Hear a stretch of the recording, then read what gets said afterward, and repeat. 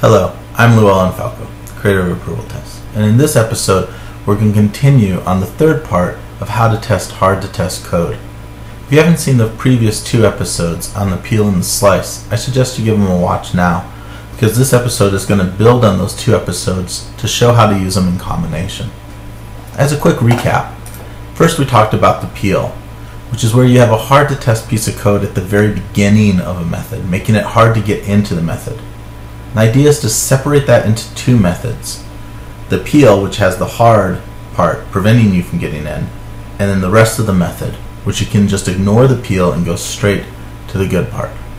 This also allows you to pass in any pieces of information that you might need to control. The second technique is the slice, which is a form of mocking. The idea here is that you have a hard to test piece in the middle of your code. And instead of going out to this hard piece, you're going to put in a fake and go to a fake that gives you a nice easy run. That makes it easy to run anything in the middle, and the peel makes it easy to run anything that prevents you from getting in.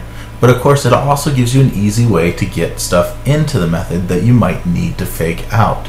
And that's what we're going to look at today. So here we are where we left off yesterday.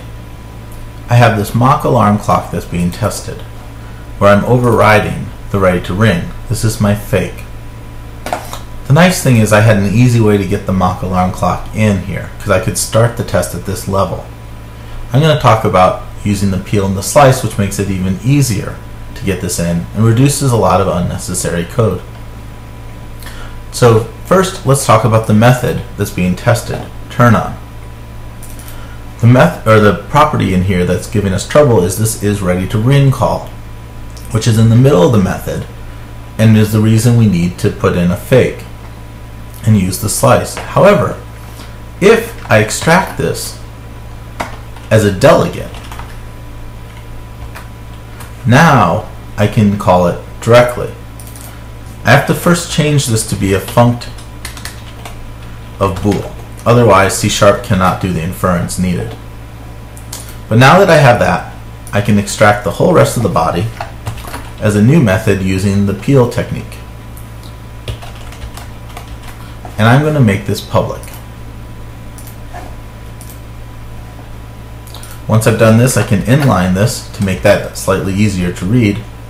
And now I have my peel and the method that's easy to test. And now it's easy to test because I can pass in the dependency that I need to fake out.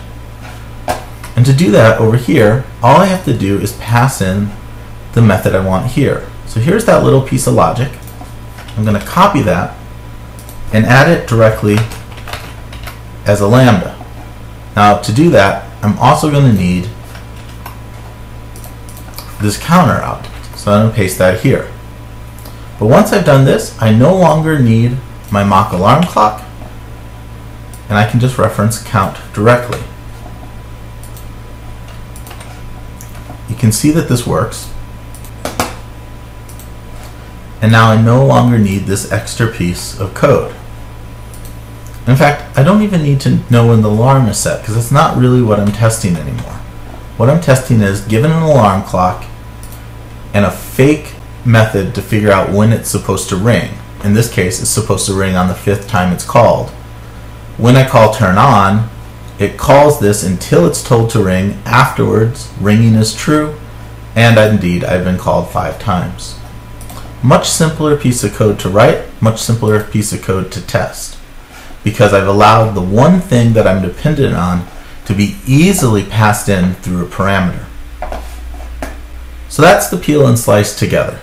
Before I close, I'd like to highlight Rich Yumul, who worked with me on approvals in the PHP world and introduced me to some very, very tough to test and refactor legacy code. And it was through working on these kind of projects that we really started to buckle down and figure out how can I quickly lock a piece of code, refactor it, clean it up, and then go without a lot of overhead on the process.